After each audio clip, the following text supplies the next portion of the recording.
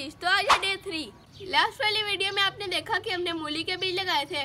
तो फिर मेरे किसी दोस्त ने मुझे बताया कि मूली तो सीज़न में लगती ही नहीं. तो आज हम धनिया के बीज लगाने जा रहे हैं. तो इन सीड्स के लिए हमने ये वाला पॉट सेलेक्ट किया. थोड़ा सा हम गीला कर लेते हैं ताकि मिट्टी नरम हो जाए. ये स्टिक हमने पकड़ लिया. अब इसे हम सुराख करते हैं और फिर बीज लगाना स्टार्ट करते हैं. तीन सुराख करते हैं, क्योंकि हमें तीन फॉलोअर मिले हैं. अब ये बीज रहा वसी भाई का। ये लो भाई आपका बीज लग गया।